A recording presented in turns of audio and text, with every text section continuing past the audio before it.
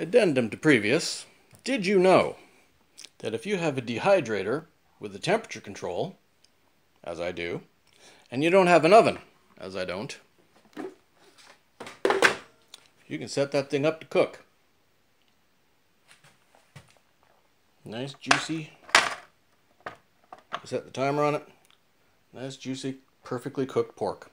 Okay, bye.